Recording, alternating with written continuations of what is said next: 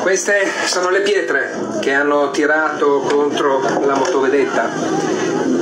eh, per raggiungere